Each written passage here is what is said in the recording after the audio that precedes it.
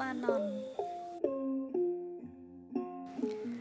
នៅខាងលិចស្ទឹងសង្កែស្រុកសង្កែជ្រុងអាគ្នេយ៍នៃទីក្រុងបាត់ដំបងចម្ងាយប្រហែលជាង10គីឡូម៉ែត្រមានភ្នំមួយឈ្មោះភ្នំបាណន់ជាបូជនីយដ្ឋានដ៏ស័ក្តិសិទ្ធិដែលអ្នកស្រុកតែងតែធ្វើពិធីបូជា តាំងពីបុរាណកាលមករឿងព្រេងដែលតាក់ទងនឹងភ្នំនេះ មានរឿងដំណាលដូចតទៅ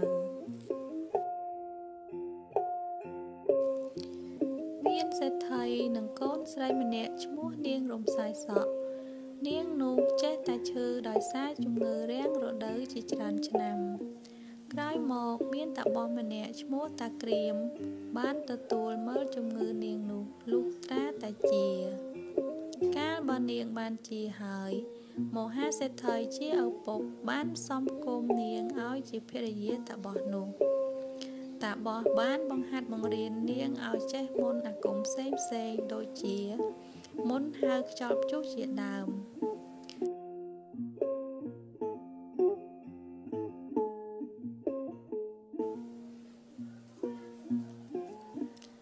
តាបោះនិងភរិយារស់នៅក្នុងរូងភ្នំមួយហៅថាព្រះទឹក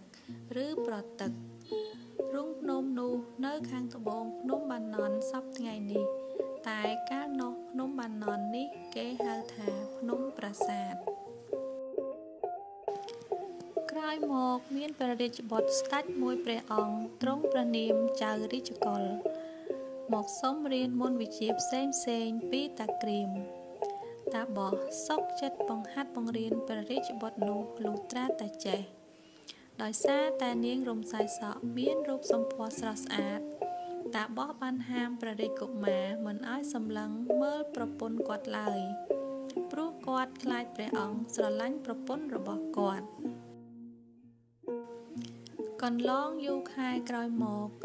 ពេលមួយជួនជាតបោះមិននៅ ចៅរាជកុលក៏លួចមើលប្រពន្ធគាត់ឃើញរូបនាងល្អឆើត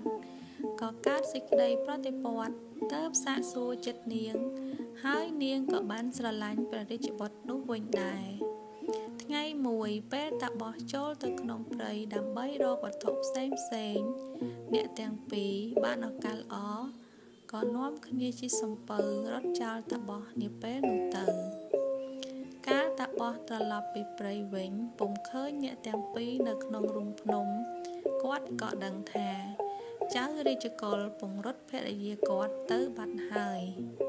ទៅគាត់រត់ទៅតាមនាងដល់មាត់សមុទ្រ គាត់ឃើញសំពៅឃ្លាតឆ្ងាយទៅដល់កណ្ដាលសមុទ្រទៅហើយតាបោះខឹងណាស់ក៏សាច់មុនវិជាហៅខ្យល់ព្យុះដើម្បីបំផ្លាញសំពៅនៅកណ្ដាលមហាសាគរប៉ុន្តែដោយនាងរំសាយសក់ចេះមុនវិជាដែរក៏ធ្វើឲ្យខ្យល់កំណាច់នោះបក់ផាត់ទៅអស់ហើយតាបោះឈឺចិត្តខ្លាំងពេកក៏ដួលស្លាប់នៅឆ្នេរសមុទ្រនោះទៅ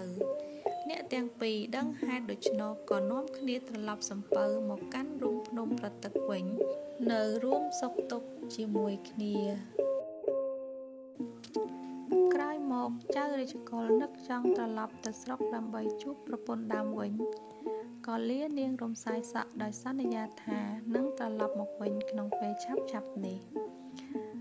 ទាប់ពីទៅដល់ស្រុកជាច្រើនថ្ងៃហើយ ចៅរាជកុលក៏ចង់ត្រឡប់មករកនាងរំសាយសក់វិញ នាងប្រពន្ធដើមខឹងណាស់ក៏ប្រើក្រពើរបស់នាងឈ្មោះអាធុនឲ្យទៅខាំងផ្លូវកុំឲ្យចៅរាជកុលទៅវិញបានហើយនាងរំសាយសក់